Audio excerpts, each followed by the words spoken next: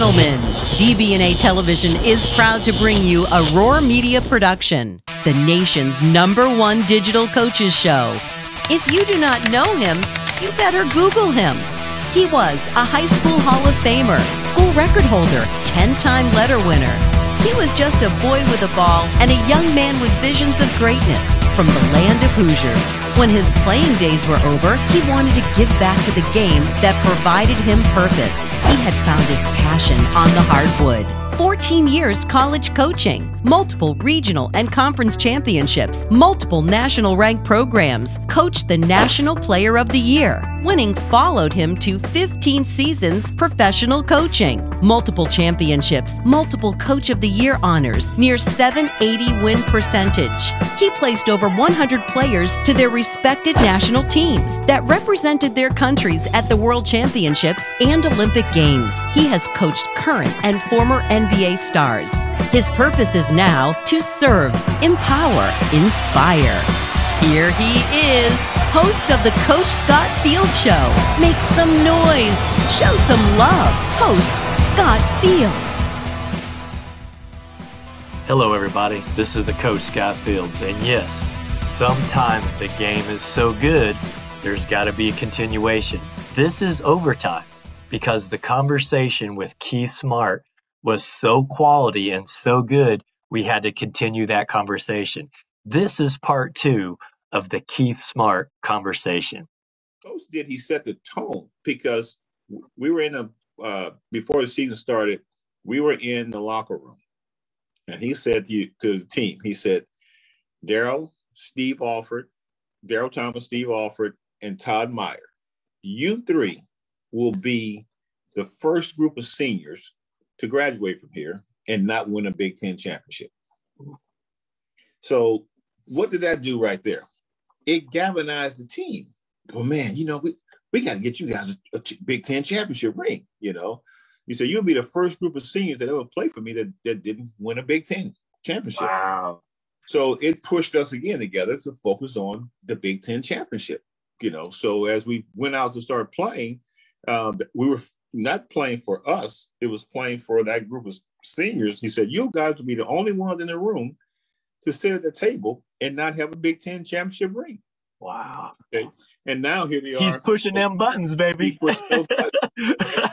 I, I, you know, when I when I finished playing and got ready to get into coaching, and I asked uh, Dan Dakich, I asked a question to him. I said, you know, we were talking about coaching and yeah, and I said, man, I got to ask you a question.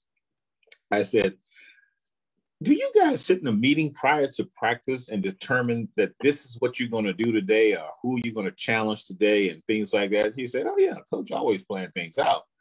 And I said, You know why? Because it's too organized. You Yeah, know, yeah, yeah. it was never like off the cuff or things like that. So it was just too organized how things were done, you know. So today, you know, we had this thing when you come on the floor, you had to go through this ball slaps, you know, a certain dribble, right hand, left hand, behind the back, legs, and all this stuff here and jump rope uh, before you come on the floor and start your shooting workout program.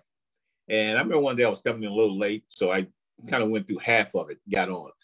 Coach comes flying out on the floor and go, "You see right there, you cheating everything you need to do.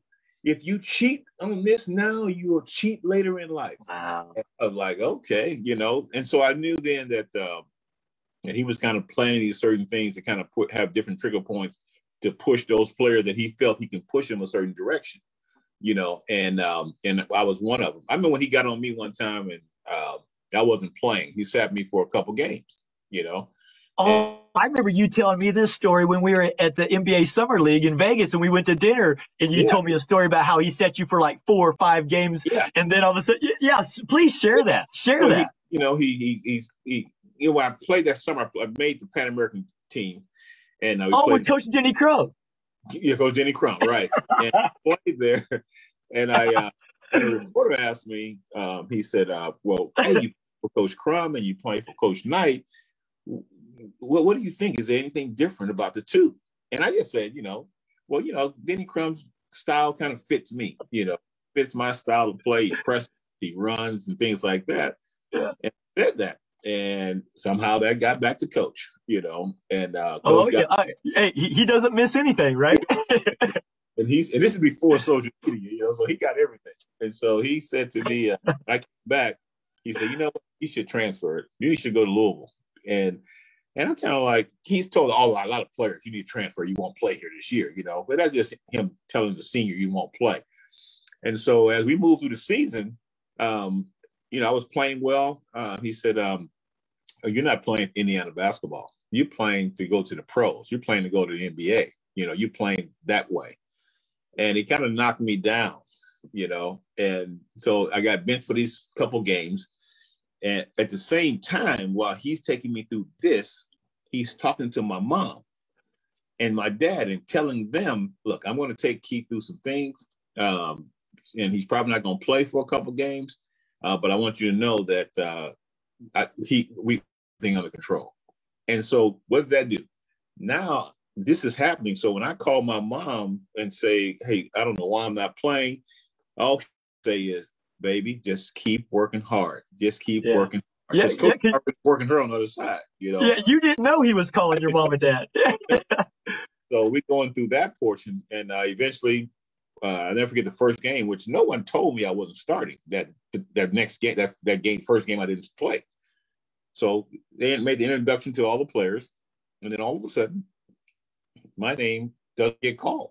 So I'm thinking because I was like pretty much the second to the last person to get called, or the last person got called, um, and I didn't hear that. And so I figured, all right, I'll, I'll get in the game later on. Coach is going through something, right? So now game moves on. I don't get in the game. First half, don't play second half don't play. No one's talking to me now about this. And so I don't play for the first game. Come to practice the next day, no one has said anything to me again. Next game, don't play.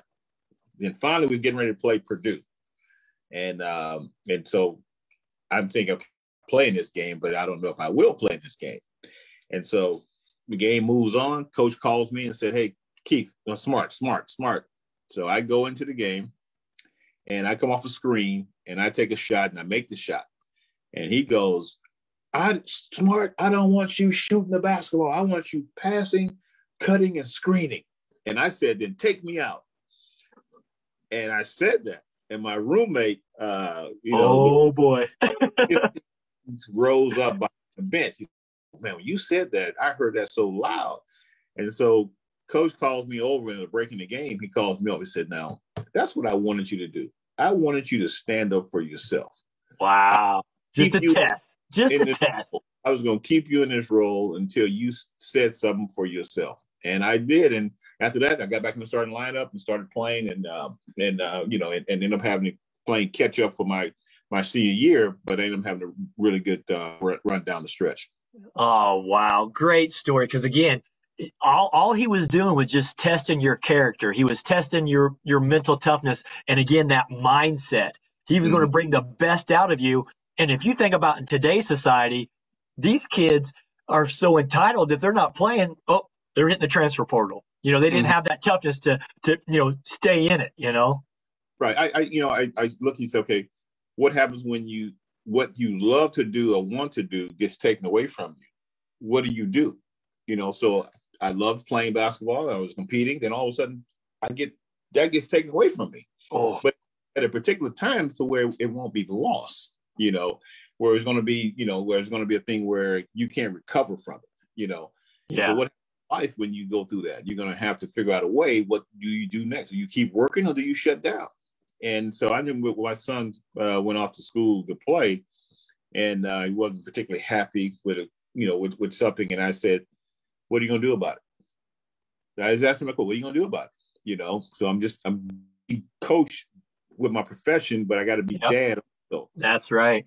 I said, well, if you have an issue with this player, you two need to get together and you need to go talk with him. You need to talk with your coaches. You need to talk with this. I love it. And work that relationship. And that's how you develop that relationship. And that's what uh, he ended up, he ended up, they ended up doing. And next thing you know, he, they have a good year, you know. And yeah, so, great uh, advice. so I, I just communication portion of it. Who are you going to turn to uh, when you st- when you start to feel that um, you're being pushed away from something? then you find those people that you can rely on, and uh, they help get you back on track. Oh, great stuff, Smarty. Great stuff, and and I love it. I, I'm again just thinking of so many life lessons that you're sharing that are so innate for you because you were drilled on it and drilled on it, and you had repetition, repetition. That now it's become a lifestyle for you, but also part of your philosophy uh, as you know you get into your coaching career at the NBA level, which is amazing. Mm-hmm. Yeah, you, you, know all these things. You know, from my high, I was very fortunate. I, I, I, look back on where I've gone and how I got to these different uh, points in my life. My high school coach, you know, um, how he his training, six o'clock in the morning workouts training. You know, um, disciplines. I'm an early morning person. You are too. You know, but life forces yep. us to get up early. Our job is forces us yep. to get up early. Yeah. You know, um, you know, so being around that environment, my, my the high school that I ended up going to, McKinley High School, was known for playing for state championships. So that mindset is always different. Their approach, how they do things. You know, um, my junior college coach Jim Carey won at that time. The NIT was a big tournament. You know, was pretty big. He won the NIT tournament. You know, so his he won uh, uh, NCAA, excuse me, a junior college two junior college championships back to back at Moberly Community College. Yeah. Uh, so his mindset was always championship thinking. So I was always around that. Then of course I go to Indiana. Then I'm there with that championship thinking. So those little things that you focus on when you were young gets poured into you. You know, conditioning. I mean, even to a point where when I was at Indiana, we had a, our team meals, and they were basically centered around pasta, uh, you know, with either with sauce or with meat sauce. You would also have a hamburger patty, uh, things like that, pancakes, right? Scott, carbs and protein. literally, I would still eat that when I was playing and then also as coaching. That was my pregame meal. Yeah. You know? I never deviated from that, you know. Then later on I did, but but but that was just that what I was trained and taught the right way. I felt that you know, taking care of your body with the right foods and things like that, you know you know, guy wanted to give me a piece of fried chicken. I'm like, oh man, you can't eat that, man. That grease is going to upset. Went through all those things, but those are things I, w- I would learn. But things that you're learning while you're working and working with young players and people, coaching people also, you can share those stories. You know, you can share those stories because you have already gone through it. That's and right. Those experiences. You can share with them because now they're on that track that you were once on, and you yeah. can help uh, see some of that. Yeah, see, and I love that. And when, when I think of that championship mindset, immediately my mind drifts to think about what Nick Saban's doing, just like what Bobby Knight was doing that Alabama football team. I mean, he he he has a system, he has a philosophy, he recruits players that fit that system. He, he mm-hmm. you know, then he starts preparing their mindsets to, you know, right. compete at a certain level. So there's mm-hmm. parallels to why that is successful, whether you know it's on the field, on the court, or in life or in business. It's a mindset. Yeah, you're right. And, and, you know, you're a very humble guy. You know, you've coached championship teams and you cut the nets down and all the places you coached and everything. Um, and so when your approach to it, like your show now, you're trying to make it into a championship level show. You know, you're coaching people every time you're on here. When you're bringing other people in to speak on here, you're coaching championship level the way you're doing it now. You, I saw your introduction uh, that you sent me a couple days ago, and I'm like, man, 10 years ago, look where you were compared to where you are now. You know, and ah, thank you. What, that's what you, you're trying to do with everything that you come in contact. You know, we as coaches, once we move into that realm of coaches, we may not be a team of players, but we coaching a team of people. That's right. So it, it could be one person, it could be 50 people, it could be at a clinic or whatever it might be.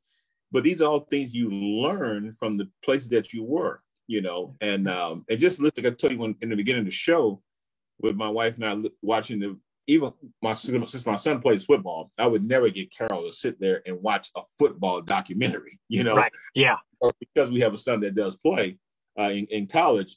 Um, she pays attention because she wants to just know more and more about these things. You know, and um, and so as we are sitting there watching this, I'm just seeing and hearing all the parallels that have taken place back then, party to what I experienced and to what I hear other coaches uh, talk about, the championship level coaches.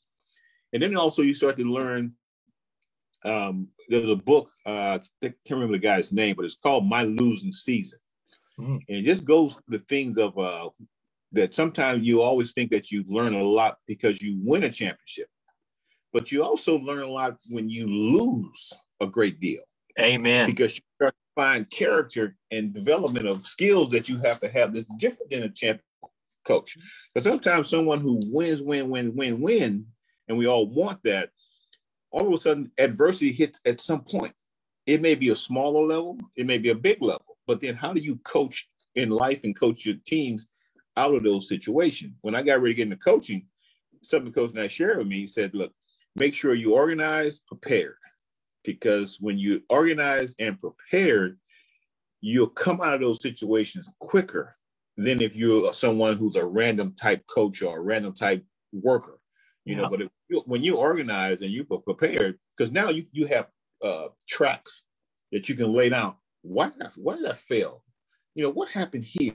You know, always document your stuff. You know, I, I, I use blue, this little blue pad and I keep uh, notes and so I can refer back to situations that I'm that I uh, that I, I'm dealing with or going through and look at okay okay I did this you know why did I do that you know I should be doing this over here you know because you're always preparing for the next step that's what you're always looking at but you can only prepare for the next step based on how that's right it's, it's so funny you say that because here are my notes and you just now said you know that book my losing season i wrote it down immediately so i can go research that, read it, and grow from it, and empower myself to be a better version of me.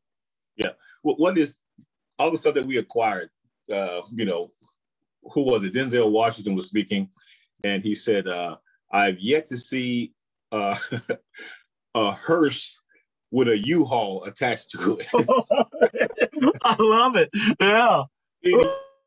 Anything with you? So why would it, why do we want to harbor all the information that we have and not pass it on to someone else. Amen. You know, that's what we're doing, and that's what uh, you know, having a show like yours has has been able to do for so many people to bring them on your show to talk about their experiences, to pass that on. And like you said, you you talking to someone, you write down something, you go back and look at that, and but what but that's what what happens. So you look at a, championship coach and hit, and, and that's when you read that book, you're going to see a championship coach of Nick Saban's caliber or Pat Riley caliber, and you will listen and read the stuff that they talked about.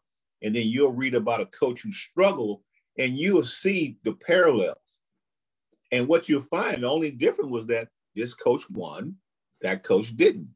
Yeah. But they went through the same thing.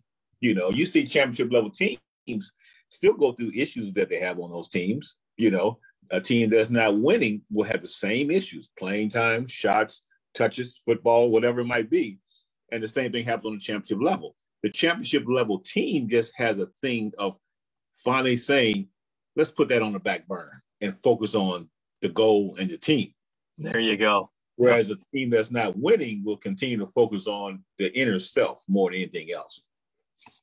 I like it. You know, and that's that's great, great tools for the toolbox right there. And I'm thinking, you know, what you said about minutes ago about organization and preparation. It's so key because if you're not prepared, you can't just wing it. I mean, mm-hmm.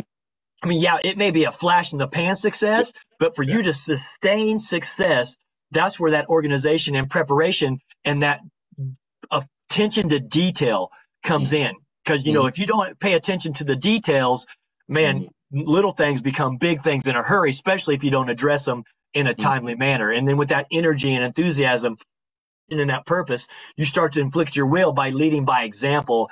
And. I, am thinking about that as you're telling the stories, you know, even with the example of your son. I mean, mm-hmm. he's now wearing number 23 just like his daddy did. And I'm mm. seeing, I, have been watching him play for the University of Hawaii. Young mm. man has worked extremely hard and he's having great success. And that, mm-hmm. that you know, that acorn didn't fall far from that tree. And right. I'm sure it's just, he's probably picked up more things by just modeling your behaviors and actions, what you may have shared with him verbally, you know? Yeah, no, you're absolutely right. Because, you know, one thing I, as a, as a dad and coach and, you know, and father, what you, you know, I saw a lot of coaches, a lot of players, former players with kids now pushing their kids. Want to do that? There were certain uh-huh. moments that wanted to do that, you know, because I knew that okay, you got to get to this level of training or work ethics if you're trying to keep moving in this direction. So I didn't push him in a certain direction. I was going to be dad. I just wanted to be dad. Yeah. You know, I didn't fight with you on you having to work out. I wanted to fight with you on you having to do your homework, you know, things like that. And so, um, you know, when you start hearing, you know, obviously, he, you know, being in college, you dealing with the media, so he'll say certain things. He'll say, "Well, my dad talked about this." You know, we went over to visit him uh, when he first got to got to school, and I did an interview on, with him, and he just said, "You know, my dad always said, you got to work hard for what you're trying to accomplish." Oh. You know? And they said, "Well, that's why I work the way I work." You know, and they started talking about, well, you know, when practice is over, he would go over to the machine, the passing machine, and run his routes by himself. You know, put a load up a few footballs in there and run his own routes. You know, and um, and so when you hear those things, you're like, okay, he's figuring it out. You know, he, he's pushing himself to the level. You know, of course, he you know think he can jump a little bit. You know, and so comes home. I think I might have shared the picture with you, the photo. But he uh, comes home and we have a spot in the house, and he said, "Dad, can you touch that?" And I said, uh, "I said I don't know." He said, "Well, I tell you what, you know these young kids today all want to have a, a you know, a tattoo." He said, "Dad, I tell you what, if you can touch this spot up here on the ceiling, on the on the uh, wall, um, I'll never bother you again about a, a tattoo or earring. You know, being a college kid. Said, All right. So I'm thinking in my mind, oh how boy. can I get how can I get up there? You know, as you get older, you're not thinking about uh, getting up there. Your issue is the landing part. That's right. Hurt when I come down. so I said, all right. So I first time and you're overthinking it. You can't get up there, you know. And so I went up to touch it, couldn't get it. He started laughing. Oh, I get, I can get this done. Want to try one more time. Couldn't, couldn't even come close to it, right? And finally, I just gave it up. He said, "Okay, I can get it done." I said, "No, son, I want to teach you something here." He said, uh, "One thing in life you got to understand: sometimes people are going to say things to you, and it's not going to be the truth. So no, you still cannot get your ears pierced or get a tattoo. You know." oh, I love it. That's a great story. Of course, he ended up eventually getting everything done, but it was just a little moment there of teaching. And then he had a play last year uh, where he went up and caught this pass of over these people. And I'm sitting there like, oh my goodness, you know, how he caught this ball. And I had a picture, uh, you know, right up in here that I have in my office. And I said, man, he he went up and got that ball, you know. And he said, I think I can jump higher than you than you could at at that age. You know, I said, you know what? You're probably right, son. You're probably right, you know. And of course, he's won two bowl games, got two bowl game rings, won a championship here in California, state championship in football in college. And he goes, uh, uh, Dad, I think you're behind in the ring count now. oh, that's awesome. But I, I, love it. And, and again, mm-hmm. Smarty, I, I think too of the analogy, you know, a candle does not lose its flame by igniting another flame.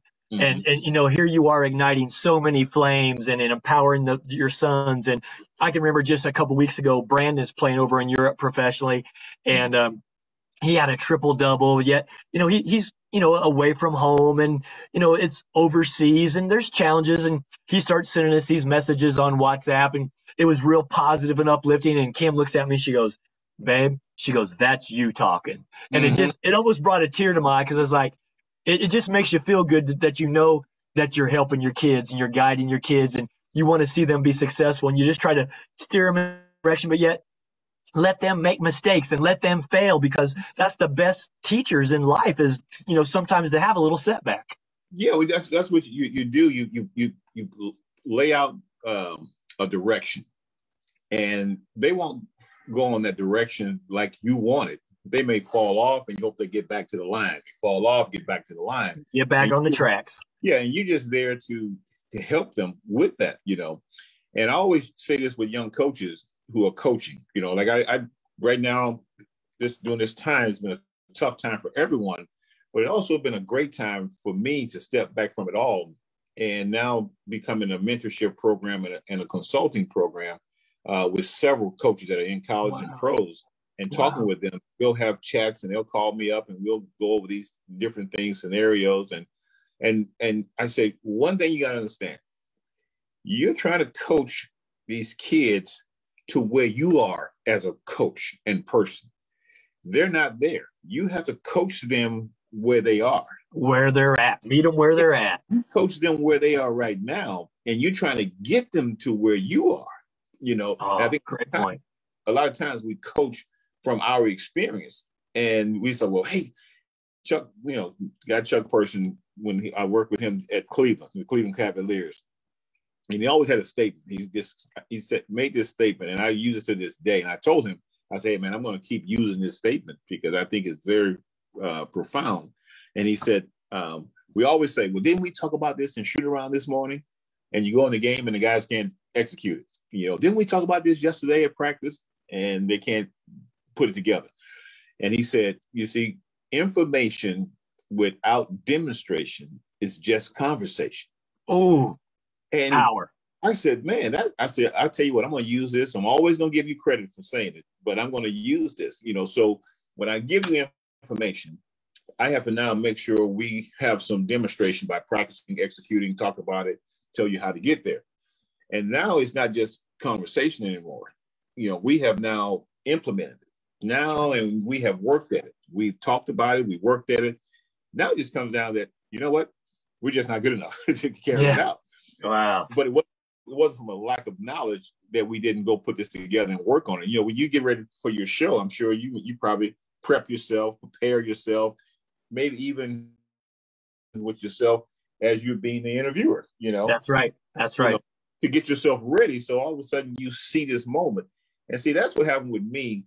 All those days of playing basketball on that court by myself put me in a mindset. So when I was in that particular moment, You've already done it a thousand times. I've already seen it. And so it was strange, man, because people say I didn't look like I was emotionally excited about that moment, you know, because I wasn't like oh, running around, oh, you know, doing all of that. I was, but because I had already saw that. Nicholson Elementary, uh, school behind my house, not that far from my house, that I would go shoot. And I would take that shot falling out of bounds, make that shot. Five, four, three, two, one, make that shot, and then celebrate. I was celebrating 10 years, 15, 20 years before that moment. You know, you talk in the house with the Nerf ball. We would have the little uh, uh, gallon milk jug, cut the bottom out of it, cut the jug in half, and we would pin that up on the wall and was able to take shots off the glass, off the side of the wall on the right side, bounce it over to the other side. You knew exactly where to hit and make that shot. Yeah. You know, so all the moments there um, is when you start to uh, uh, it start coming back later on in life, and you know the the, the one saying the uh, instant superstar, the instant millionaire, whatever. No, man, that started way back. That's know? right. No one That's... sees that road. Everyone sees the road that you're on now, but not the road that you were on to get to that point. Amen. Amen. And I, I think you know that, that Chuck Person uh, statement that you made. You know, talk about the demonstration, and yeah. I think that's so vital right now, Smarty, with coaches because this younger generation, these players are so visual, and I think they're so visual because they're constantly on their phones. They're constantly on their computers. They're constantly on their Xboxes or PS5s or whatever they are. And that visualization if we as coaches don't use that technology that we have in front of us because players are so visual if we don't use that it's a huge mistake as us as coaches not mm-hmm. to use that technology available to us i mean we can sit there and and talk to them and talk to them because the best coaches are the best teachers the mm-hmm. best ceos are the best teachers so mm-hmm. you know we have to use those tools for that visualization for that player so they can see what we see so we can help empower them to get to where they need to go or where we know they can go. And we may have more belief in them than they do themselves, but we have to build up that confidence in that individual through that visualization and through that demonstration. No, you're absolutely right because you know you you we you have young kids. You know we know how to communicate to them. You know we may call them and not get a phone call, return phone call for a week. Yeah, but but we text them. it's like instant. They're gonna re- respond to a text. You know. Yep. That's where we are you know, with some of the players that I've worked with, you know, I would, as I'm breaking down film situations, you know, uh, in the game or with coverage or whatever it might be, I would videotape that. That what I'm communicating to them about, videotape that, put my little captions on it, you know, and then text it to them. And immediately, pretty much, I would get a response back. Oh, coach, now I see what you're talking about. You know, oh, yep. You know, and so because that's how they respond to things now. You know, um, yep. you you're taking a kid through a video because he's going to be looking at video all day anyway. Yeah, you know, he'll be on YouTube. Yep. Yeah, he that's what he's going to be looking at, and so the best way to communicate to them was to send film uh, mm-hmm. to um, you know in their medium that they're in, and that's how you got a better response for them. And I say, okay, tomorrow we're going to work on this right here. See this move right here because oh, the best teacher for a drill that you're trying to set up is to look at the game. Mm-hmm create your drills from the game. I shared this with a coach. Amen. I said, Amen.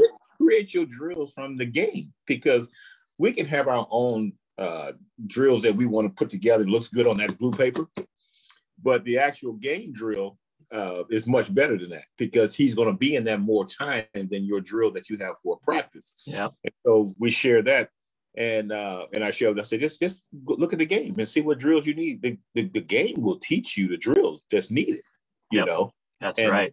But that's that, but that's how you have to communicate to them now. You know, I play over in Europe. You coach in Europe, and you know how lonely it gets over there for a young person. You yep. know, you just going to practice, coming back, going home, going to practice, and everything. And um, and that young player is figure things out. And when I played over there, coach once told me, said, just play as long as you can. Because yeah. Because you won't be able to forever, you know. But as you yeah. said, for the time, you know, just play as long as you can and learn as much as you can. Because guess what? It's going to come back. I share with the guys. I said, you know, when you get to a veteran as a veteran player, and all the players start, you know, we joke with this with Vince Carter. They calling you old head, you know, old grandpa, you know, and you're an old man, 30, 38, 37, right?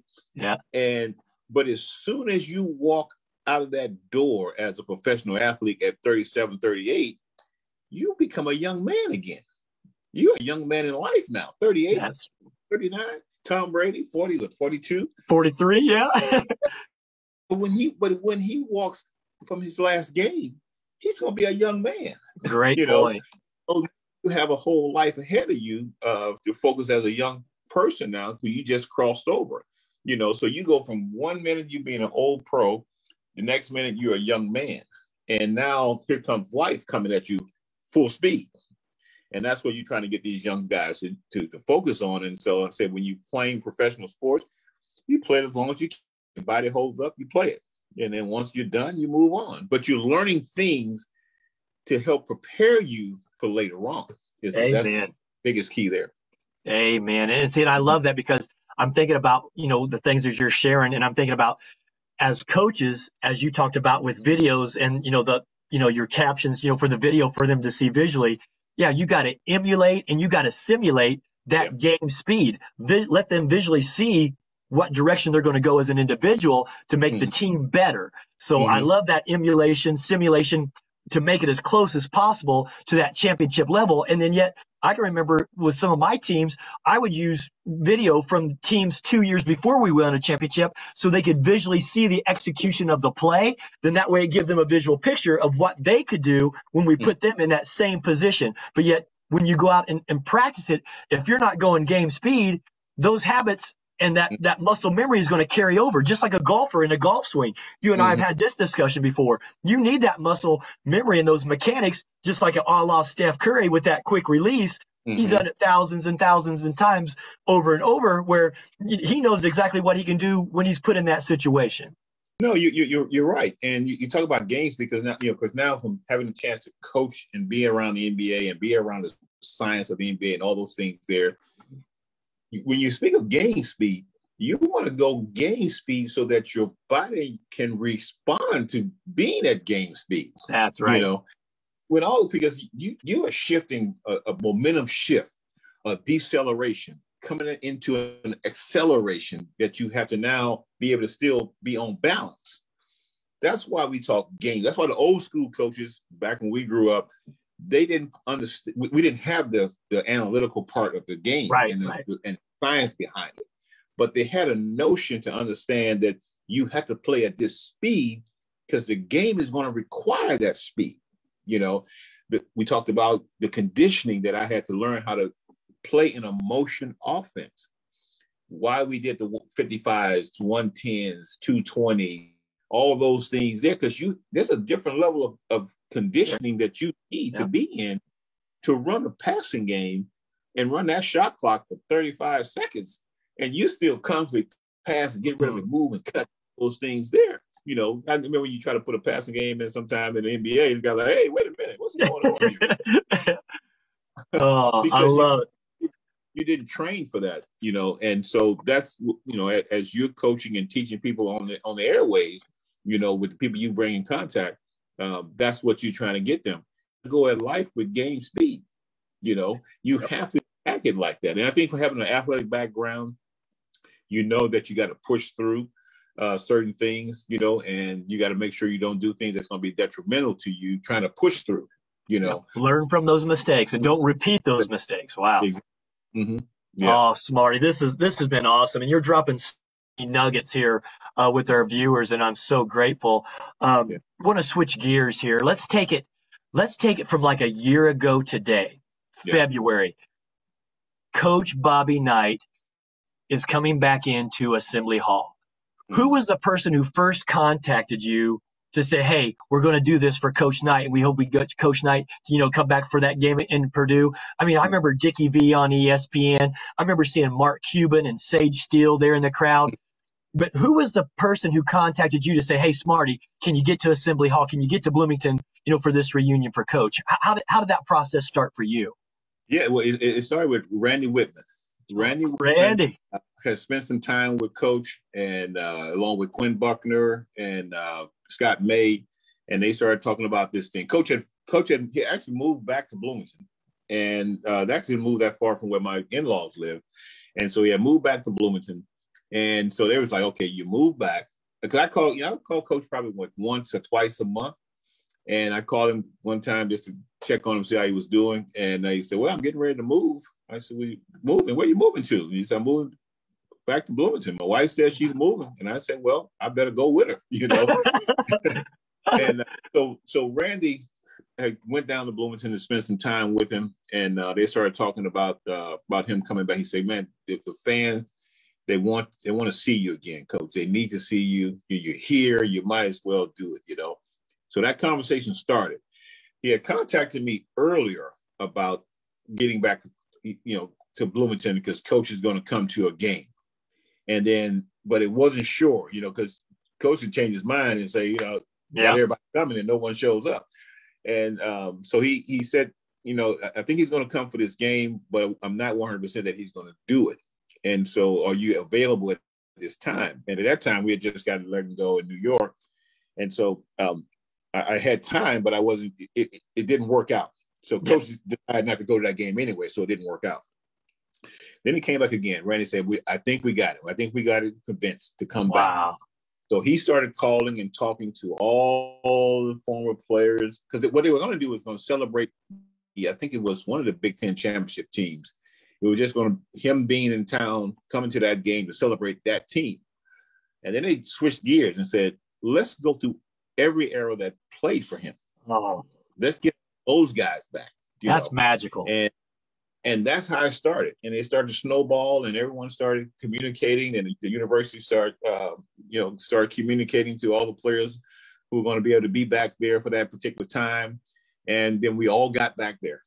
And wow. like I said, you looked at all these guys and you look at so many players and and seeing all these people and their wives and their kids, oh. you know, teammates and their wives and kids and all these things that we had and talked about, you know. And all the stories, like I said, all the stories start to show up. But Randy was the guy that uh, initiated that with uh, along That's with beautiful. And those guys. And, and see, I, I think about that because Ted Kitchel was roommates with Randy Wittman mm-hmm. when he was at IU and had great years right. and great success. And and you, I think of you know the, the names that, that you're mentioning. You know, you talk about Quinn Buckner and Kent right. Benson. I mean, there's your 70s, and then like you said the 80s you know your guys and then in the 90s and you, you just think of, of the number of lives that coach has positively impacted with mm-hmm. those life lessons and and practices and it's just a beautiful thing because i remember i was talking with you and you sent me a text and it was you and coach knight mm-hmm. sitting there at the chair right what, what, was those conversations like to you know go back and, and, and talk with coach and what were yeah. things that you guys discussed you know during those times when it was just when it was just keith and, and coach right well that one the picture that i showed you there was the, the conversation i had started with him was when i took the story about my mom Okay. Was, that he was, I said, Coach, you may not remember this, but I, but there's a time when uh, you benched me,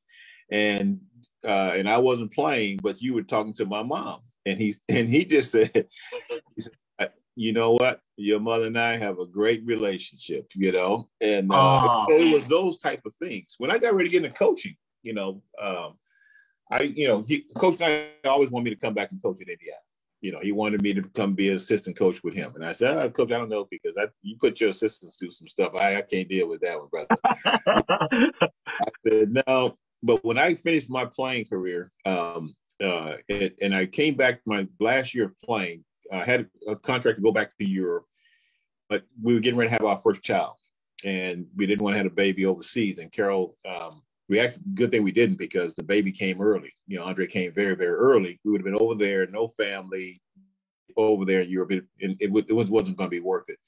So we I decided to stay home. I said I'm gonna try out for the NBA team. If I get cut, I'm gonna go to the CBA and play until we had a baby, and then I have a contract to go back the following year to play, finish up playing over there. And that year, I went to Fort Wayne, Indiana, to play with the Fort Wayne Fort Fury. Wayne Fury. Yeah. Fort Wayne and the coach got sick. Coach named Gerald Oliver got sick, and I became a player coach.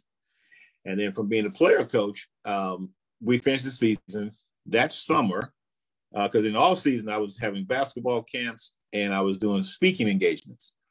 And so one day I had a speaking engagement. I cut up some chicken that morning, and I went out uh, to do my speaking engagement. Was gone for several hours. Came back home, and was going to cook that chicken later that night and so Carol said, um, "There's something that trash can smells. Can you go get get rid of that trash? That take that trash out." So I take the trash out, and the place that I lived at was called the Point, and was a little outside outside of Bloomington, uh, like 15, 20 minutes outside of Bloomington. Uh, and it was a retirement area, but since I was still playing, I wanted a place that I could, you know, it'd be safe and everything uh, while we were away when I was playing overseas or what have you and so it was a little little, little uh, a house out out, on the lake, and um, so we had that. I, I, take the trash out. There was another guy who was a younger guy. It was probably was three of us that was probably the younger guys. Everybody else was retirees out there, and uh, so I we we're talking. It was very windy and dry, and he was on light bulb duty. That you know we were rotating around. He was on light bulbs, so he was going around the different venues putting in new light bulbs, and so um, he said, man, it's, this wind is crazy. You know, I said, yeah.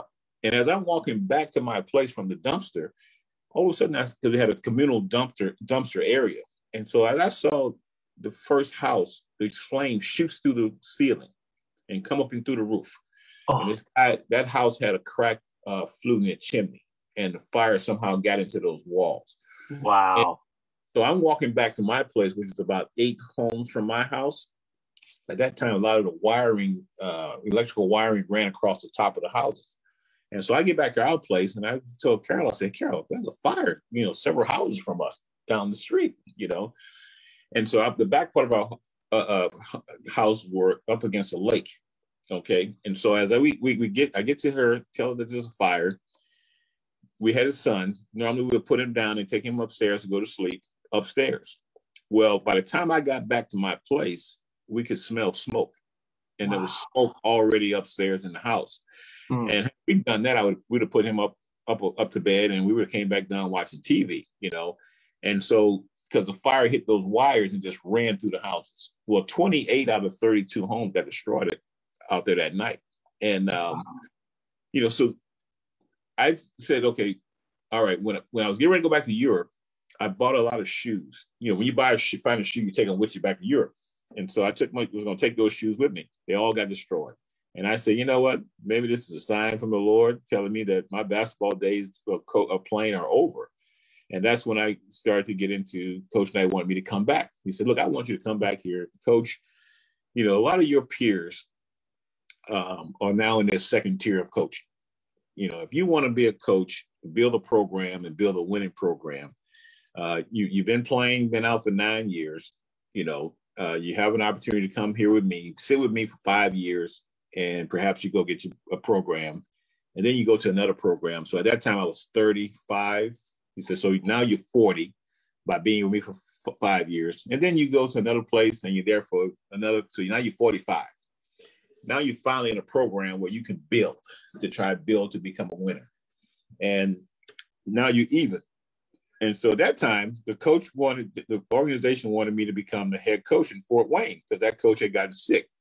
They said, "Well, you want to, would you want to be a player coach next year?" I said, "No, I can't do that. I can't play and coach. That's just not working." They said, "No, we want you to come back and be the head coach for next year." And uh, so I went back to coach. Told him, I said, "Hey, coach, um, I got this opportunity. They want me to coach in Fort Wayne." And he said, "You know what? That may not be a bad idea." You should do that. Go coach wow. for. Um, and if you don't like it, don't work out, come back with me. And I said, you know what? I'll give it a shot. And I went up there and started coaching and started to enjoy it and started to have success and started to, to win and started to get players developed and moved on to the NBA or over in Europe for a bigger contract. And uh, and it just took off from there. And but then he went back to what he said to me about you make sure you're organized, you make sure you're prepared um, mm-hmm. because you're going to have tough times. And when those tough times happen, if you're not organized, it's going to be a struggle. Wow. Players leave to get called up to the NBA, your dynamics of the team change. And so that was the, the portion of, of, of how the coaching part of him coaching me moved me into the coaching profession. Love it, man. I, you know, coach, it's a, I, I love hearing these stories because, you know, we've all had life vests thrown to us at some time that mm-hmm. kept us afloat and kept us going. And then we, you know, we, we fall back on those life lessons and habits that we picked up through, you know, our experiences through sports. And, mm-hmm. you know, again, hearing that story, it's almost like Coach Knight had a blueprint for you yeah. so he could help you be successful. And I love hearing that story and, and thanks for sharing that. But, you know, I, I think about, you know, last February, I, I, it looked like the electricity in Assembly Hall was just amazing. What yeah. was it like coming through that tunnel with coach, coach being recognized, the crowd erupting? What, what was that feeling? What did it look like? What did it feel like? Well, when, like I said, when we were sitting in the, in the, the holding room, you know, where all the former players were all and their families and wives and everyone having discussions back there. So you can feel the emotions of it all. Because each player, like you saw me sitting with coach on that photo. Yeah. Yeah. I, my time with him, you know, and then another player would come in, have his time with him, and so forth. Some of the wives who were girlfriends at that time, you know, that kind of didn't know coach at that time, but over yeah. the years got to know him, you know, wow. uh, visit here or there, or phone call here or there, got to, got to, you know, know, because even when I was co- playing, he would say to Carol, like, when is he going to stop chasing that ball around the world and start getting, you know? And, um, so, but getting ready for the event, you know, um, because at first the players, when they had thought about it at first, to have the players uh, for one particular Big Ten championship team, they're going to be able to sit in the arena and watch the game. Yeah. But because they shift gears and became this huge group of players, there's, a, there's no way we don't have any room for that. So yeah. we're going to you guys in this area back here for all the players and families. And so the momentum was starting to build up. And then when finally uh, they came in and said, let's start lining up by this class or this team here this year. And we all started lining up and everyone starts getting there. And then coach got up and started walking around with Quinn, I think it was, and they started getting themselves ready. Wow. You hear the fight song. And we all had the uh, the red jackets on with our number on it and everything.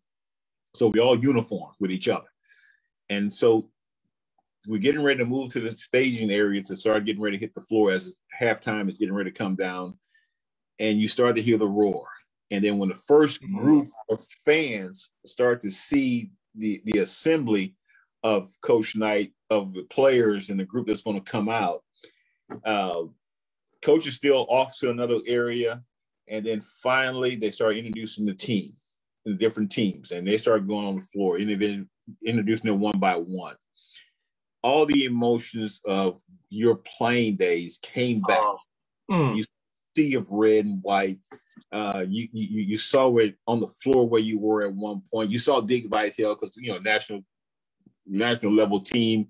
You always had a, a top level uh, broadcasting team that was there at the games. You know, so you start to see all those things. So the the energy was just off the chart. Everyone kind of felt like their their young 18 to 22 year old self again. And we got yeah. in that building. And once we all finally got on the floor and the crowd is going crazy in there, uh, then all of a sudden you start to see Quinn. And then I think it might have been Randy. Then you start to see Quinn and, and Scott May. And next thing you know, here comes coach walking through. And I tell wow. you, that moment was for that moment, he went back to being coach Knight. Yes, he did. Because you saw the energy he had that yes. he had a long, long, long, long time. And you saw the emotional roller coaster that he was on as he made his way to that floor and made his way over to Dick Vitale. And then oh, started, you saw that feistiness in him again. He got kind of feisty. Oh, yeah, okay. and then on the saw where he's, I was standing next to him, Isaiah, a couple other guys, and he started screaming defense. I saw you did that. That day. he looked over at me and he kind of said, "Get out, play defense." I got into this defensive position and started shuffling my feet and everything.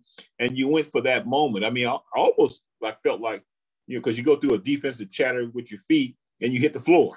Yeah. You know, I, well, I told you my problem was going to be getting back up off the floor, so I was going to hit the floor. Oh, coach, I'll tell you what. That, that would be most moment of that of that that time seeing him in that environment and, and you could see it and the love that the fans and the community gave to Coach Knight. And Coach Knight, it, it did, it put that fire back in him. And, you know, just mm. to see him kind of well up with a little bit of tear. There, right. I mean, there's two, there's two decades of emotion right there that he had to set aside because to me, that community and that that assembly hall needed that. And right. for them to for them to have that reunion, it needs to be a 60, uh, you know, a 60 for 60 documentary because uh, it was magical. It was moving. Uh, mm-hmm.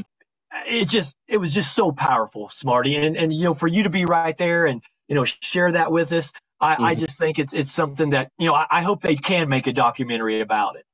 No, it, it, you're absolutely right because each player has his own personal experience playing for Coach Knight. There you and, go he said some of it was was good for great for a lot of players. Some of it was in the middle. Some of it, it wasn't the way it, they, they thought it would be, and it didn't work out. You know, but that's life. That's life. Come on. And then, unfortunately, how it may have happened to some players. You know, but yeah. each guy it was each individual experience. So when people say, "Well, that coach Knight is this and that," I can only talk to you about my experience with him and what happened because all the stories that I may have, the conversation that I've had with him, the situation in my life, going through everything that I went through uh, uh, uh, through my life, through you know miscarriages, uh, of being uh, home, lost a home with everything, you know, with so many Indiana fans. You know, knowing that I had just gone to my mother's house in Louisiana, picked up all the accolades of things that I had accomplished over the years of my playing, from playing and coaching, but we're from playing, and to lose all that because now you yeah. got kids kind of have a little treasure chest so that when you look back, your kids to be able to say, "Oh, Dad had this, he did that." I lost all that. Didn't have any of that stuff. Gone, you know? gone, gone. But through all the years of people collecting things, they were sending this stuff back to me. Wow. You know? And so wow. I was same exact things that I had lost. I was getting some of those things back. You know, beautiful you know, so it was, it was just one of those incredible moments um, in in time to see that happen. You know, based on when Coach said he'll never return to Bloomington. That's right. Yeah. For for it to happen, but it took a, a, a strong coach, uh, who a guy who was a coach in Randy Wittman, to coach him to coming back because mm. he hmm. had some time, some quality. Said, Coach, I think you need to get back there you know, oh, I'm never going to go back. I'm sure those that was the conversation. You oh, know, sure. Yeah, coach, listen, you need to be there. We want you there. And I think when he kept saying, probably, I, I don't know, I wasn't privy to the conversation you have with coach, but I can imagine that maybe he was saying, Coach, we want you there. Your players yeah. need to see you there. They're all going to be there. And I think that may have kind of loosened up that string to say, you know what, let me go back there for them. Yeah, that's see, and that's that's beautiful. That's a beautiful thing, Coach. Mm-hmm. I, I, and again, to be able to sit here in Salt Lake City, Utah, watching that ESPN game, because there was starting to be a buzz that, hey, you know, mm-hmm. Coach Knight might be around. Of course, right. I knew that you were going to be there, but of course, I, I can't share that information. Right. I mean, that's that's right. stuff you don't talk about. It's it's for, it's inside, it's internal, and it's family, and that's the way it should be. But mm-hmm. you know, watching that moment and seeing that little tear kind of him well up, and the love that the fans gave him, and then just you know, you all you players from all those decades being there. It was just a beautiful thing. And uh, thank you for sharing that with us because I know that, you know, it, it had to be so heartfelt and so much emotion behind it. Yeah, no, again, and see, even even when because we were all in that room waiting, no one was sure the coach was coming then. Right. Yeah. Still, because he, he could have still decided, you know what, I'm gonna watch the game on TV. yeah. yeah. Exactly. Yeah. Yeah. Oh it's, wow. It, it's still it's still because everyone was saying, is Coach here? Is he here? Because we hadn't seen him yet. You know, and then finally he walked into that room, and so, wow. uh, but again, what he talked about was is five, 10, 15, 20, 30 years, 35 years from now, I want this Indiana group of basketball players I want them to have that feeling uh, of what we talked about, uh, that they can now come back together as a group of players. And that's why I say sometimes when we start talking about uh, when I'll send a text out and start these guys, like if I send one today to a guy, I guarantee you I'm going to have this text running for a couple days. You know, that's beautiful. We'll talk about all kind of crazy things. You know, one of the things that we always enjoyed uh, in Indiana was when we would go on a road trip and we would go through the, the, the process of you know you get there you go to practice um, the next day you got uh, study hall you're doing your homework and stuff like that and then you, you go through film sessions and then you go to get ready to go to bed at night. But at uh, i think it was like 9 30 that, that night before the game you couldn't wait for this tray that would come around this little cart someone bringing something to you. He would always get us uh, vanilla ice cream and apple pie. Wow. and, okay. You know, on the road trip, you know, it was, you know, the little cart would come up there and the guy would bring it up there and we go to the hallway and get our ice cream and uh, apple pie, you know, little things like that. You remember those things and you would go back to your room with your roommate or some of you guys were all hanging out in a room somewhere, you know, and, uh, and, and just so many other stories that we would have. Uh, oh. with, you know, we always rotated roommates. We didn't have the same roommate because that was part of the, the whole bonding that you were having with someone. So I never had to, we didn't have the same roommate, you know. Um, there was a time, a game we had, we had played Iowa and uh, we lost that game there. And uh, myself and Rick Calloway were roommates. Ricky we Calloway. I think we was going to play Wisconsin next. And we, we were still on the road. Then we played like a Thursday game or a Wednesday game and they had a Saturday game. And Calloway and I roommates and we never roommates. So we played this game in Iowa. Coach gets upset with us in this game. He calls us to his room once we land in Bloomington. I'm excuse me, landed in, uh, Wisconsin. We go to this room, and and people always send Coach stuff when he would on the road. And so someone had sent him some uh, garlic crabs. You know, oh. so in that room eating these garlic crabs, and but he's getting on us because he's watching this film already. And it's probably not 11 o'clock, 12 o'clock at night. He's watching this film, and he's calling us every time to come back to this room to watch this film. We didn't have any rest, nothing, man. We go to practice the next day, shoot around, and Rick and I, he said, I want Rick Calloway and Smart tape. And I want, and we never tape for shoot around, you know. I want those two tape. And Rick and I are playing over here, one on one, you know, just nothing while the team is going through walkthrough, we're doing one on one training.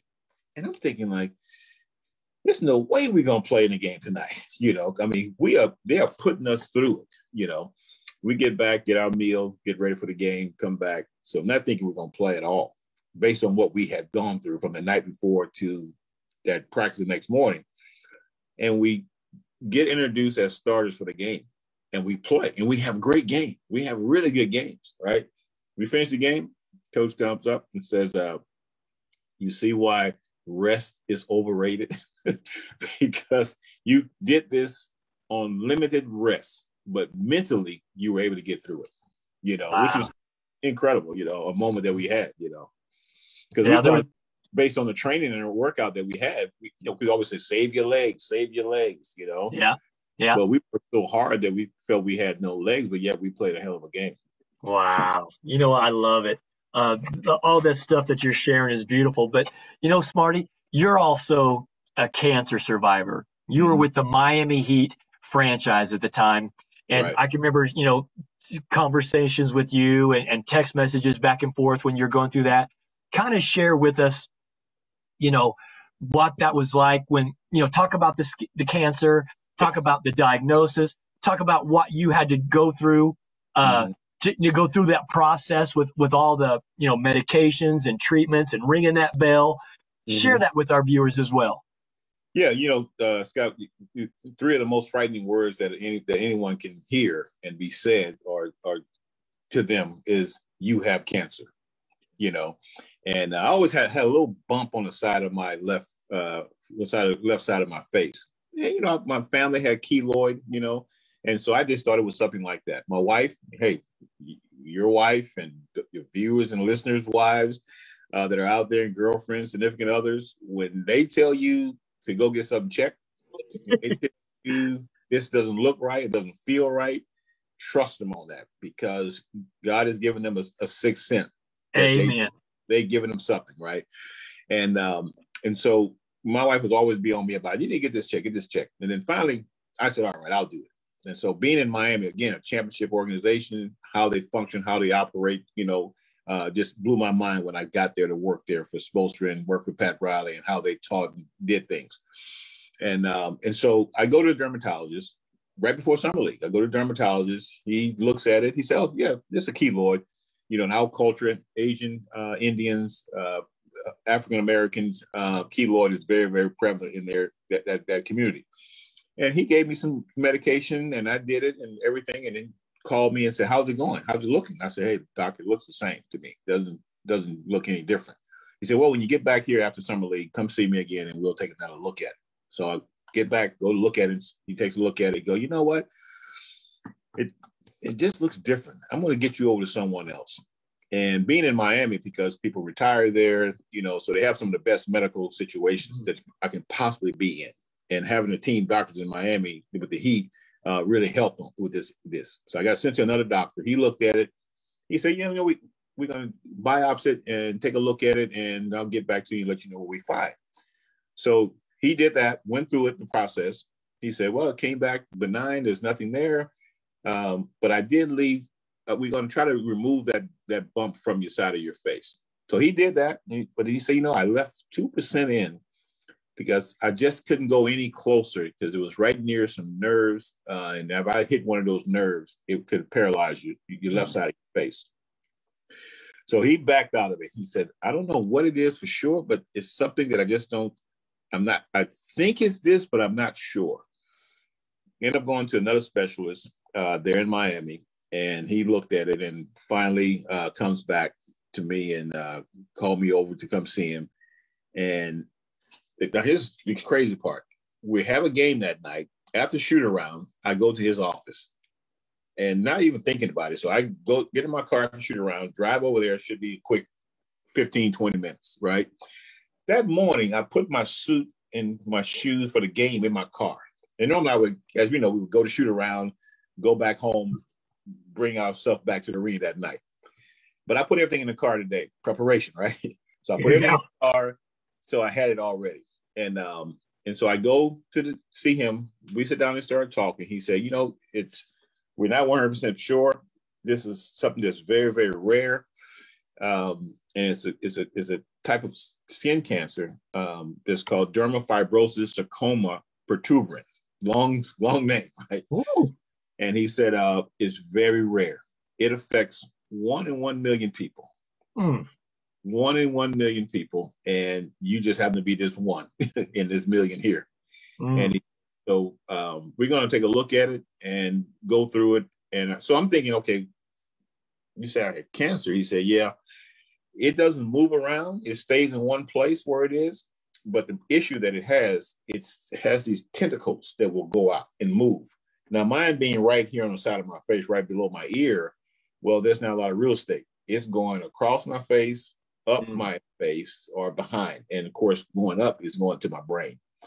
He said, you know, if we don't get it under control, we got between three, five years, you know, and it'll be in your mm. brain. And at that point, there's nothing you can do because it sends these tentacles out. Mm. But we do everything we can to get this. So I'm in this place while I'm waiting to hear this news that I just received. I'm sitting there, you know, kind of not paying much attention because I'm still on my on my computer working, waiting for my appointment time, and I'm working everything. And then I just looked up and I realized I'm in a cancer treatment center. Wow. And I'm watching different people come through here. I mean, in that time frame while I was waiting, just hundreds of people coming through. And that's just that place. So imagine this in other parts of the city, of the of the state, and of the country, and of the world, you know. But I'm sitting there looking at all this. Still has not hit me yet. Mm. Go to his office. He sit there. He said, "Now, do you do you understand what's happening here?" He said, "You have a rare case of cancer, mm. and we under control." So he said, "I'm going to call you back again. I'm going to present you to a couple conferences because we have not seen something like this in such wow. a long we're going to present you at a conference and we're going to look at how do we attack, how do we, we go about attacking this. So I went back to the arena because now I missed my, my nap time is gone. I drive back over to the arena and get ready for the game, work out my players on the floor that I need to work out, and still not hitting me, still not hitting what has been said to me that you have cancer. And now I'm in this situation. We finished the game. Uh, I'm on my way back home that night. I haven't called Carol to tell her anything yet, and uh, and I'm going through it for a couple days. Haven't told anyone yet. A couple days, still haven't told anyone. Mm-hmm. And then mm-hmm. I said, you know, I got to tell a few people. So I uh, called Spoelstra and and David Fizdale, Erik Spoelstra and David Fizdale. And mm-hmm. I met after practice, and uh, said, man, I got to tell you guys something because uh, the doctor now has called me back and said we we got an idea what we're going to be dealing with, and here are the dates we're going to have to have surgery and get you on this treatment. And that's when it hit me, you know. And I sat in front of them, and as they're waiting for me to tell them what was going on, I started, I broke down. Mm. And I, when you talk about friends, two guys that I'm very close with, they didn't know what it was that I was going through this emotion with. Yeah. Both of them started crying. Wow. Both of them. And I hadn't even shared what it was, but they knew it was something painful. Yeah. And so it was thinking that man, maybe it's Carol or maybe it's the kids or what is it? You know, his mom or something like that, his dad, you know, whatever it might be. And then finally, um, I shared with them what had happened and what was going on, and those two guys just just lost it. You know, wow. these two great men sitting there feeling my pain, and obviously uh, told Carol now. Carol knows, you know, and I told finally told the team because I'm gonna have to be leaving the team, and I just share with them. I say, look, my my kids don't know yet so, uh, you know, please don't uh, tweet anything or talk about it on social media yet.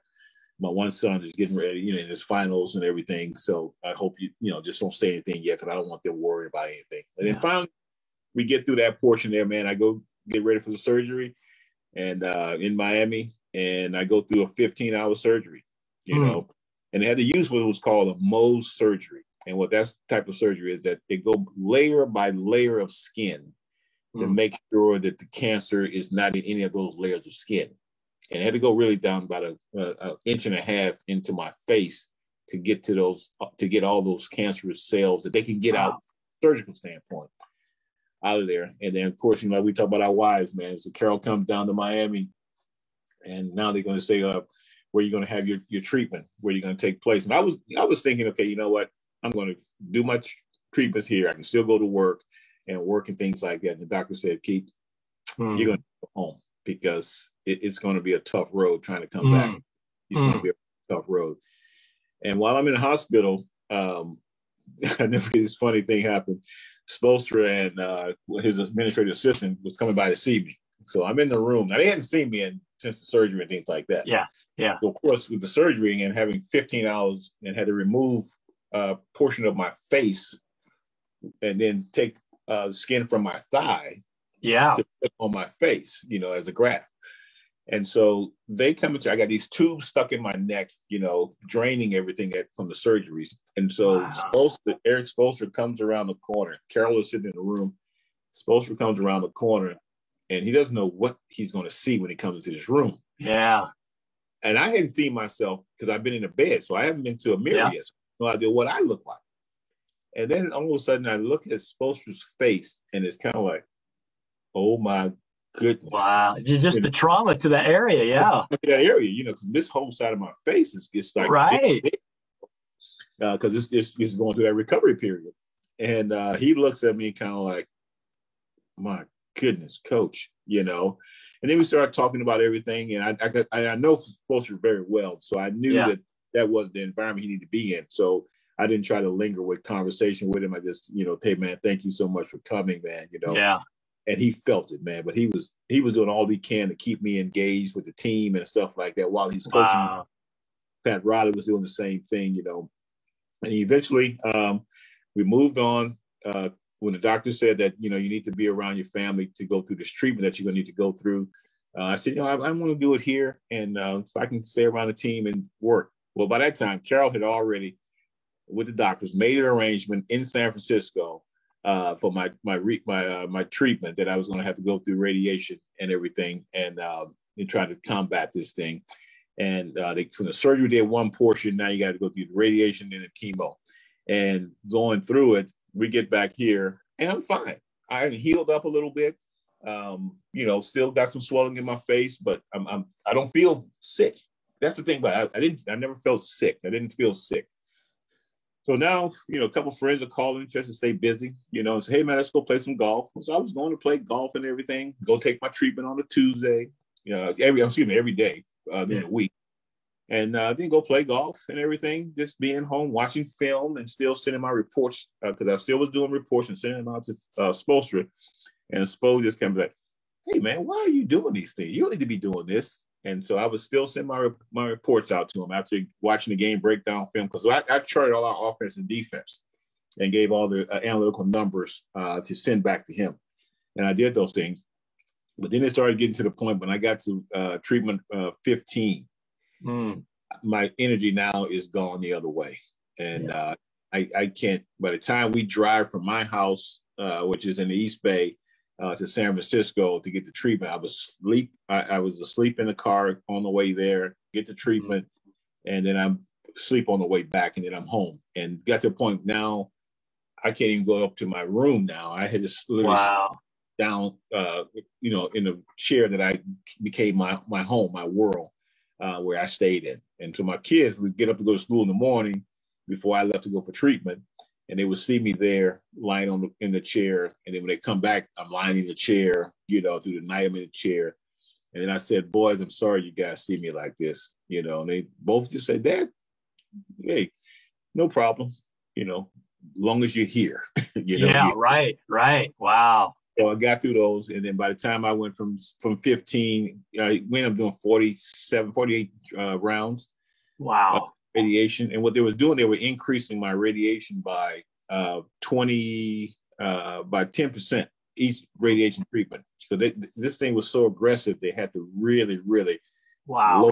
You know, I lost uh, like 47 pounds uh, mm. doing that and I lost my ability to taste and smell. All that was gone. Uh, but, you know, old steady. Carol was right there by my side, getting me through it and everything. And I never forget this one Beautiful. time. I stopped eating. I couldn't eat you know, food just didn't taste me. If you can't taste food, you don't like food. Yeah. And uh, so she said, okay, I'm gonna make this steak shake. so you ever heard of this? So she takes some uh, some soup, vegetable soup, and a steak, and she puts it in a blender. she purees it. she purees this thing into a steak, man, in a shake. She put it in a glass and she gave it to me. She said, You're going to drink this. I said, No, I'm not drinking this thing. She said, You're going to drink this. I said, No, Carol, I'm not drinking this thing. you're going to drink this. If I got to jump on you and hold you down and pour some in your face and some gets in there because you're not eating, you got to eat. Wow. And she did that and I drank that shake, you know, and but instantly I got energy right away because I wow. finally got nutrients into my system. And, uh, and I said, that'd be the last one I drink, you know. So I made sure I started eating something uh, after that, you know. Then we had a friend uh, who actually works for was working for the Raiders. Then she was a uh, uh, she was a chef, and so she decided heard about the news and everything. Decided that I'm going to uh, cook your food for you, um, and because what I was able to taste and eat was fish and rice. Mm. And so she started just preparing all these different types of fish and rice for me, and I was able to eat on eat that stuff and was able to get through it. And then my mom wow. just said, eat some grits and things like that. So long story, went through that battle of cancer, got through it, uh, finished it up, and was able to uh, ring the bell. Now, while I'm in there of, of going through my treatment, you know, everyone who's in treatment, you're there, you see each other every week for a long period of time, depending on how long you're there. You know, you're coming in. So we would come in, in the morning, got to meet people, friends, some of their families, and we would uh, say, "How are you feeling today?" And everyone would lie and say, "Yeah, oh, I'm good. I'm feeling good." And we said, you know, let's stop lying to each other. You know, when you're going through radiation or chemotherapy, you don't feel good. You know, the day is not a happy day for you. You know, uh, yeah. you end up. And I said, let's just tell people the truth. When they say, "How are we?" You know, and I said, uh, let's tell them the truth. Tell them we feel terrible. But what my, what my boy said to me, but you're here, you know, and a lot of people weren't there, you know. Yeah. And so as I finished up my treatment and going through treatment, you start to see different people who were able to continue the treatment program. And you saw people who treatment was being discontinued because mm. to a point where they couldn't do any more for them. Yeah, it's now terminal. Yeah. Yeah. The day that I rang my bell, I it's two worlds that's taking place in this building. You know, you, you go downstairs into the basement to do your treatment and you get a chance to ring the bell. And then there's another group that's not going to ring that bell. Yeah. And the gentleman that was there, I don't know what, what happened to him later, but uh, but this gentleman, he's in a wheelchair, a motorized wheelchair. Mm. And he said, Coach, how you doing? I said, man, I just rang the bell, man. Just rang the bell. He said, I said, man, you're gonna better ring your bell. And he said, Coach, I'm not going to be able to re- ring my bell. My, oh. my, my, treatment program is getting ready to stop because there's no mm. I can't go any farther. And man, I was like, here I am excited to mm. have made it through. And here's this person on the same platform, mm. but not, you know. So yeah, have respect for what you go through to, and see these people going through the, the treatment and, and, the cancer survivors uh, that are out there and what they face when they're going through it. Because it's not just you going through it. Yeah. Your family going through the whole emotional thing, your friends going through it, and they all yeah. would love to trade places with you. But I tell them all the time, you don't want to trade places with this because yeah, not on this one. This is uh, uh, so a journey that you you know go on and and sometimes you don't make it. And uh, and there was another two other people that were in that group that kind of had somewhat of the same type of cancer that I had. Mm. One member, the, the, the cancer had gotten beyond where mine was. It had gotten across their face. So literally, they had to remove their eye, remove uh, portion of their face, and had their uh, their graft that covered their face. Uh, another gentleman had uh, kind of the same thing, and it was his went across the lower part of his chin and his, and his mouth, mm. so the portion. So here I was in the middle of those two extremes, mm. with the, almost the same type of cancer in the same particular right. area. Mine just maybe let's say it's three years later, where that is now, you know. Um, you know, and before I was would, it would have been kind of egotistical and say, I'm gonna fight through this. Because I even thought about that. I said, you know what, I trust in, in God, I believe he's gonna yeah. do this. You know, I'm not gonna take the treatment. I'm not mm. gonna go through, I'm gonna have my faith push me through this. Yeah. And I just remember the old story. Hey, I sent the boat to you during the flood and you wouldn't get in. yeah, right. Yeah. Oh.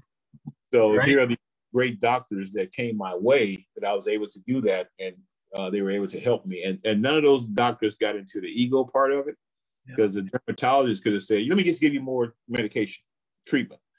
Uh, the first doctor that had the first mental first portion of the surgery they removed um, the bump. He, what if he would have kept going and would have hit that nerve? You yeah. Know, things there. We talk about moments in that championship game. What if Derrick Coleman make one of the free throws? What if uh, the guy deflects the ball from behind me and I don't get a chance for that pull up. What if this would have happened over here in the slow motion world, you know?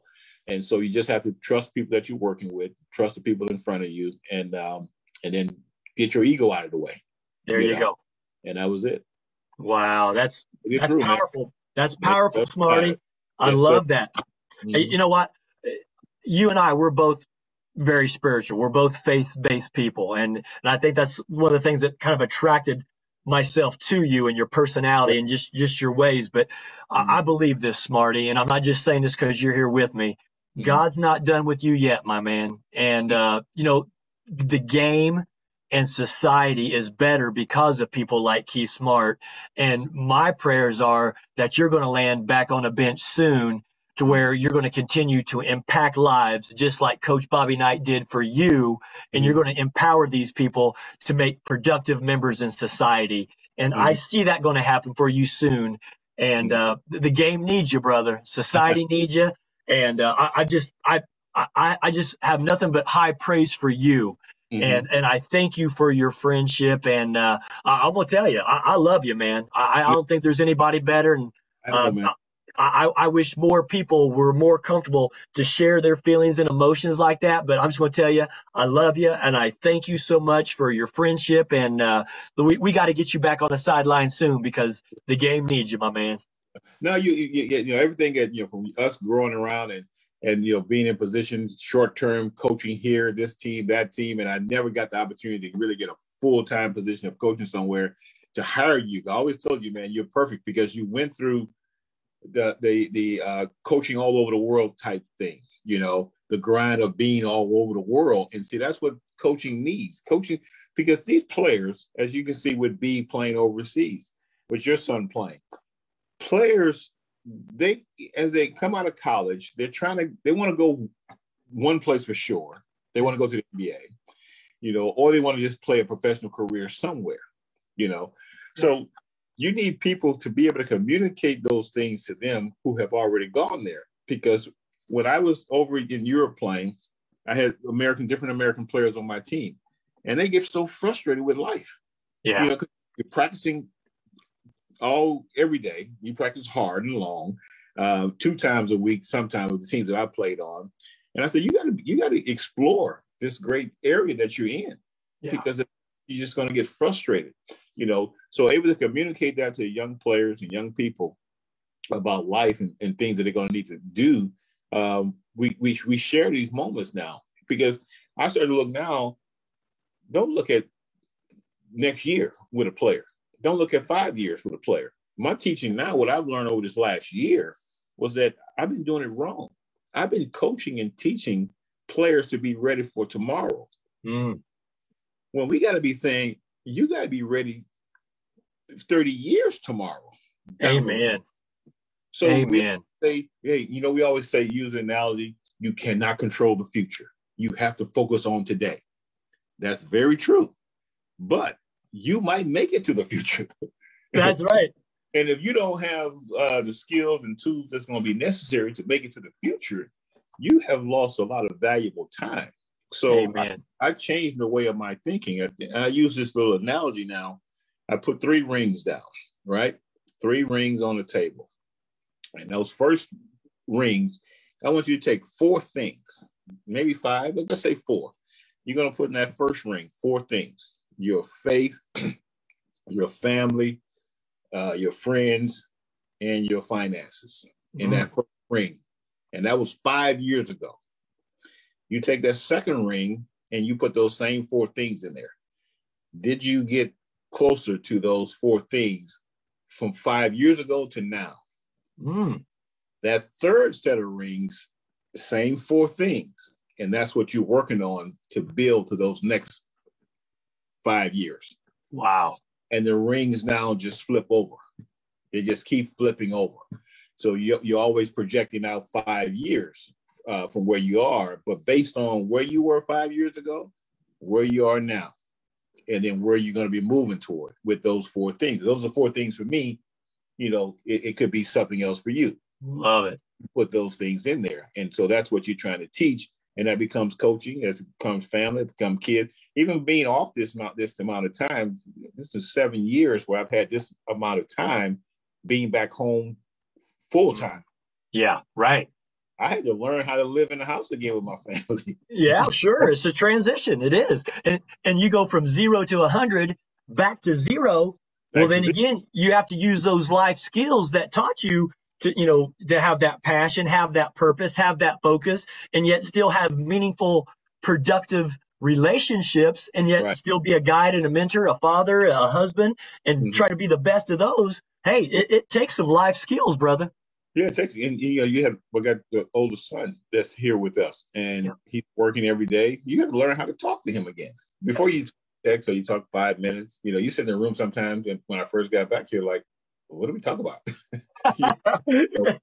oh wow. And then we Oh, start things that we can communicate with about certain things. So I can start talking to him about, you know, as he's working every day and what he's trying to prepare for his future life and stuff like that. And hey, I say, hey man, look, what are you whatever you want to do with your life, find a job that you love because you're gonna have passion for it, you know. Uh, and whatever, don't worry about what it's paying you. Then you Right. have to look at other things outside of you. Find this job that you love. Now you got to look at other things. I want to keep doing this, but I need to figure out a way how I can continue to earn to help me over here so I can help with my passion. Because you know, when you got your passion, you know, you can be there all day long. You Yeah. can sit in the room here with It's your not work. Yeah, it's not a job. 15 hours a day and not even worry about it, you know? Yep.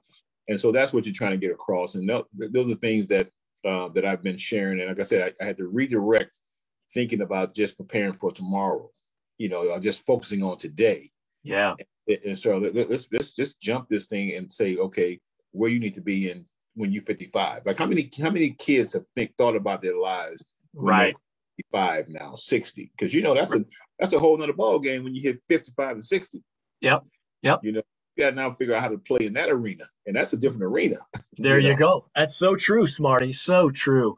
Wow. Yeah. It's uh, you know, it's I this has been so enriching and I'm a better version of myself just because again, I get to spend this kind of quality time with someone that I admire and respect. So Mhm. thank you for empowering me with these tools and these stories and these experiences.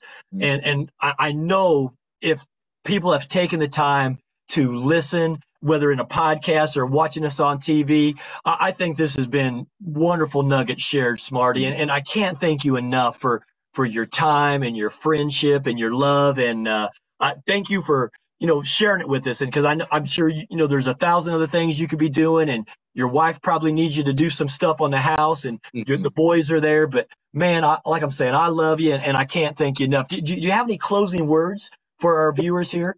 I, I'll just say number one, you know, the, the fact that the, the platform you have, you know, you if you've allowed so many people to come on there um, that has helped other people.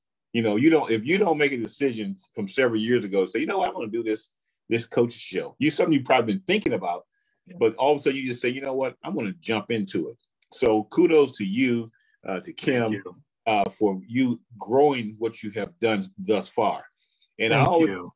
focus on, um, you know, how am I affecting the people I come in contact with? That's it. No Yeah. matter what their backgrounds are, their beliefs, their political beliefs, their faith, Amen. you know, you just impact them eh, through your life. And that's what you've always been an impactful person around me, been an impactful person around all the Thank players I'm in contact with, uh, been impactful with the people you're reaching now. And so as your listeners and your viewers are watching your shows, you just know that you're pouring something into their lives they can take into their lives that you can apply to your life, you know. So it's Thank not just coach's show, you know. This is I say you go from I was coaching 12 to 15 players to all of a sudden now you're coaching 12 to 1500 or 15,000, 15 million people.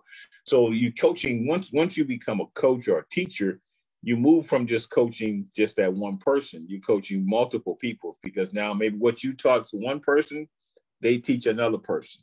You know, they teach another person. You know, and uh, that's the benefit of uh, being able to, to share. These are things that some of us have always wanted to share, but never had a platform to share. And now you, as well as other people uh, that I've done some of these things with, um, has given people a platform to talk about that. So where you can just talk about stories and talk about life that can help other people. You know, having gone through cancer, I can share the stories. Amen. Having gone through coaching the NBA, playing in college, playing for major coaches, things like that. You know, my other mentor coach was Coach Don Nelson, who Mm. taught so much Mhm. about Nelly. you know, and uh, being able to play for a Hall of Fame coach and then work for a Hall of Fame coach and how they operate, you know, has been great. Uh, but I tell you, the work that you do, man, because it's all positive, you're uplifting people, uh, you're growing your your your your your company, and you're growing your family along the way. And that's like you said to me, big things are, are, are, just around the corner for you. Who knows, man? You may have one of these big shows on TV one day. hey, if, if, that's how the good Lord needs to use me, I feel blessed. And and but you're getting the proper training because so many times we want to train at the next high step, but we got to go through these little these little small places first to get to that next spot. Because once you get there, I've already done the work over here. Amen. So, Amen, Smarty. Come on, brother. I love you. Thank you so much. And uh, man, let, let, let's let's let's go swing some golf clubs. Uh, I, am not a motorcycle rider, but I'll get out there on the road with you just because I know I, am going to. we're only as good as the people we surround ourselves with, and if I can continue to surround myself with Keith Smart and his knowledge and his experience, I, I'm blessed. I'm blessed yeah. and lucky. Likewise, likewise, my man. Well, let's break bread together soon. Give Carol a hug for me. Tell Andre and Jared I said hello, and I'm really okay. enjoying watching those kids' growth. And hey, you know what? That that Hawaii football team is pretty good because that number 23 out there is doing doing work. He's doing a little work out there, man. He's enjoying it, and I, we enjoy watching him. And uh, oh. and his brother and I, uh, brother, myself, my wife, we're all excited watching him and being a part of it. And and we we, we just watch it. That's what we do. We just watch and support. That's it. There you go. Like, like there you go you know, we do the same thing. Amen, brother. God bless you. Thank you for your time. Ladies right, and gentlemen, again, this is the Coach Scott Fields with another edition of the Coach Scott Fields Show. And I pray and I implore people to please share this content and, and take these tools for your toolbox to impact your life and make you a better version of you, no matter what walk of life you're in. Stay blessed, stay healthy. Health is wealth and, uh, and, and share and spread love. We need to be united. One love. God bless and have a good day. We'll see you soon on another edition of the Coach Scott Fields Show. Smarty, thank you, brother. I love you. Thank you. Bring it in. Thank you for watching the Coach Scott Field Show, the nation's number one digital coaches show. This DBNA television broadcast is a Roar Media production. Don't forget to subscribe to the coach's YouTube channel. Like and follow him on Facebook, Twitter, and Instagram. Have yourself dressed and ready to go in the locker room for the next exciting show coming soon. Thank you for watching the Coach Scott Fields Show, the nation's number one digital coaches show. This DBNA television broadcast is a Roar Media production.